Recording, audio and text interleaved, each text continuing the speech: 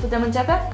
Dar înainte să începem, observ că ai tricou negru și pe tricou negru meu o scamă mare, vezi? Și scama asta, dacă o iei, se fac două scame. Poți să tinzi, te rog frumos, membrele superioare. Și ai unul aici și unul aici, da? Și poți să verifici scama asta, practic doi bureți, da? Se vede clar asta. Afirmativ. Așa. Avem 1, 2, 3, 4, 5, 6, 7, 8, 9, suflă ca în desene. Perfect, vezi și dispare. Asta e un test de observație în sine. Imaginează că este numărul 1 și este numărul 2. Care îl dorești?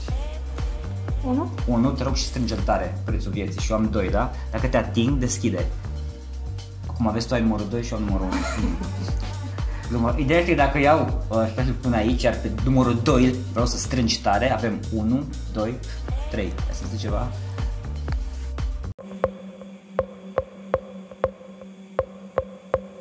Dragilor, fără nicio altă introducere, Daniel Hex, magician sau iluzionist. Salut! Uh, ambele.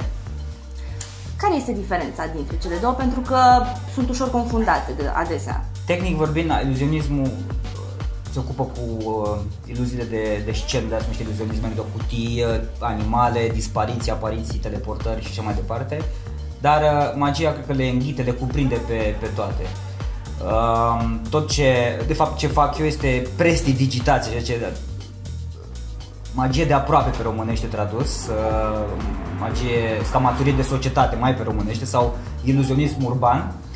Dar, uh, cum ziceam la început și întrebarea ta, uh, magia le cuprinde pe toate. Dar, tehnic vorbind, iluzionismul se ocupă strict de iluzii de mari pe scenă. Eu, din ce m-am documentat, știu despre tine că ai o poveste tare interesantă. Cum te-ai apucat de iluzionism? Cu de iluzionism acum uh, 11 ani sau 12, peste o decadă în orice caz. Uh, un uh, amic, o cunoștință neapărat amic, uh, străin mi-a arătat un, uh, un truc, pot să zic, uh, pus patru monede pe, pe o masă și patru cărți le acopere și tot se schimbau monede, tot dispăreau. La sfârșit, climax, toate cărțile erau schimbate în altă culoare, era o surpriză. Dar magia mereu mi-a plăcut încă de eram mic, Dacă avea o videotecă și mereu eram atras de filmele astea de, de fantezie, de supranatural, de vrăjitori. Unde erau vrăjitori, acolo eram și eu și în desene. Dar uh, ca să nu ne îndepărtăm la subiect, cred că acum 12 ani, 11 ani a început totul. Cine te-a inspirat? Păi, uh, niște desene. Când a fost prima dată băgat cablu, cred că la noi în România, au fost niște desene, facem reclamă așa, Galtar se numeau. Și aveam un tezor mare al negru, mi-aduc aminte și când a început era, era un uh, personaj protagonistul desenului, punea două săbii, se făceau într-un uh, caduceu de ăsta magic și cu el făcea tot felul de, de vrăji, cred că de acolo a început. La desene, într-un cuvânt, și cunoștința asta care mi-a arătat trucul. Plus un coleg care în București vreau să-i mulțumesc, tot Dan îl cheamă, care mi-a arătat în, în cămin tot felul de, de trucuri cărți și el cred că a fost iar un catalizator pe, pe drumul ăsta. Dar mereu a stat în mine, mereu cred că nu tu alegi magia, magia te alege pe tine, așa mai filozofic, spiritual. Că ai vizitat destul de multe țări făcând, uh, făcând asta. Cum a fost uh, experiența asta pentru tine? A fost o experiență bună pentru că a fost și o afirmare profesională plus experiența, upgrade-ul ăsta care am crescut până la tot felul de oameni, tot felul de, uh, de medii și m-a ajutat pentru na, și cariera mea, ca să zic așa. Am transformat hobby-ul într-o carieră, pasiunea într-o, într carieră de lungă durată și a fost, uh, a fost super într cuvânt. Ne poți spune și ce țări anume ai vizitat? Da, țările care mi-au rămas la inimă au fost și am stat cel mai mult, au fost în Scandinavia, adică în Norvegia, am stat cel mai mult și în Islanda, în Reykjavik. În Suedia am făcut magie pe vapor, am fost în Franța, în um, Italia, Austria, acolo am fost la un concurs chiar de magie și tot așa. Și în Tokyo, în Tokyo mi-a plăcut, a fost a doua după Islanda, preferata. În Tokyo am stat aproape o lună și am făcut și acolo magie, a fost o experiență unică, chiar unică, din punct de vedere cultural, tehnologic. Ai un uh, preferat în ale iluzionismului, să spun așa, dacă vorbim pe plan internațional, poate? Da, sunt că câțiva, nu există unul ca și filme sau muzică, dar uh, aș putea să zic câțiva ar fi un, uh, un olandez care a murit, să fie țărâna ușoară, Tommy Wonder îi zicea, David Stone mai în Franța și clasicii, na, ilustri uh, iluzioniști cum ar fi David Copperfield sau uh, magicianul stradal David Blaine care a fost iar, îmi plăcea simplitatea cu care a venit pe piață. Și ideea este simplă. Tot ce trebuie să faci este să pui mâna pe o carte. Perfect, rog frumos, iau cartea. verific, nu are absolut nimic, da? Și uh, ideea efectului este că eu o să derulez prin carte și tu ai să zici stop, bine când vrei tu. În regulă? Perfect. Te rog frumos de la 196, fără să văd eu. Ține-o spre tine cumva. Cartea la 196. Ai găsit uh, Da. pagina. Și vreau să ții, te rog frumos, pentru simplitatea efectului, primul cuvânt de pe pagină, aș vrea să-l arăt și la, la cameră dacă se poate. Primul cuvânt de pe pagină, să ții și tu minte, bineînțeles, asta e cel mai important. Și să arăți primul cuvânt de pe pagină. Gata? Da. Trebuie- Poți să închizi cartea? Și poți să vii peste asta, contează. Uh, ce s-a întâmplat? A fost destul de cinstit, am pus două cărți și tu ai pus una, ți-am zis pe ce carte ai vrut tu, da? Și ai ales cartea aia și ai zis tu cum ai vrut tu la ce faci. În buzunarul drept am un, uh, am un bon de la Carrefour, uite, am nu tot felul de prostii. Fiecare este un bon, da? Se vede clar. Și aș vrea să faci, te rog frumos, să ții de bon, exact așa. capăt. Și am să iau pricheta asta din nou. Și vreau să te gândești la cuvânt, ți imaginezi și încet, încet pare ceva, scuză-mă,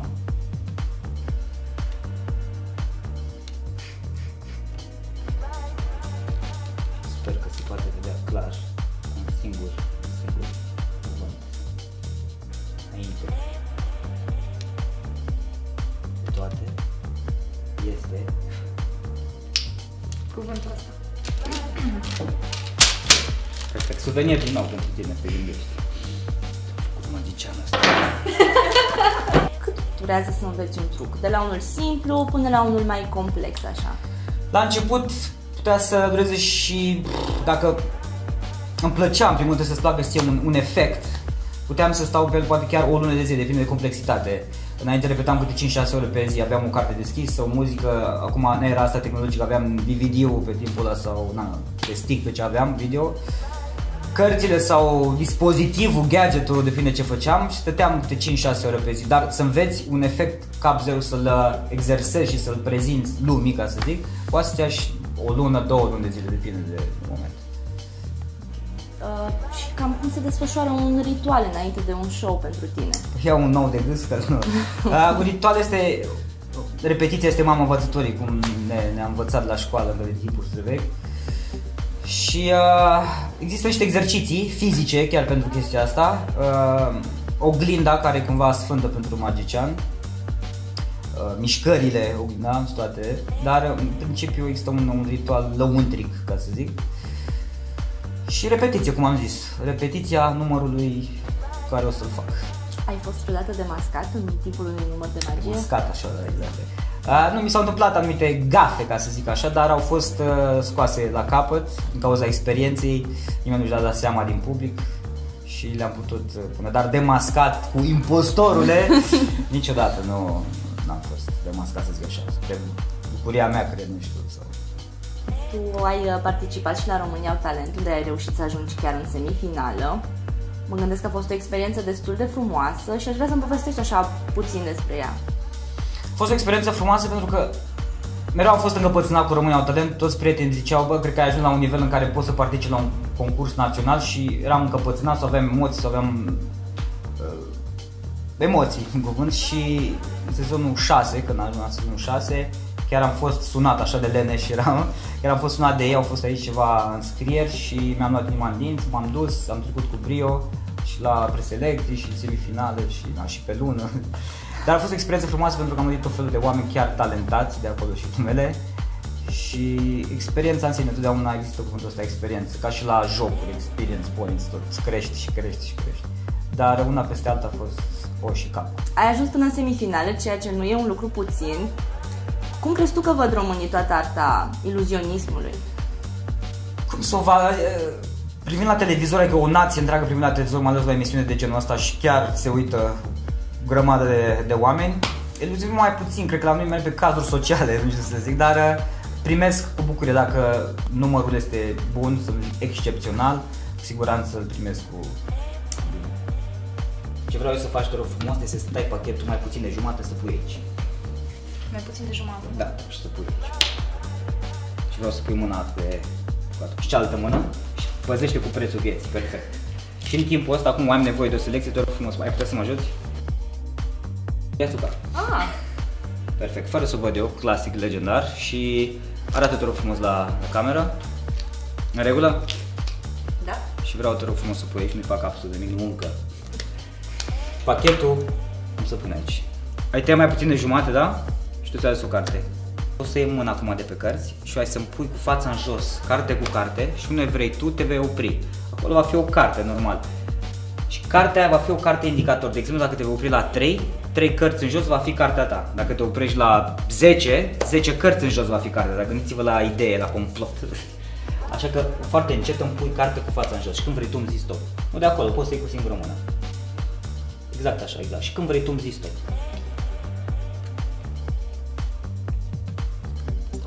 Te rog, ridică cartea, fața în sus. Perfect, și pune aici.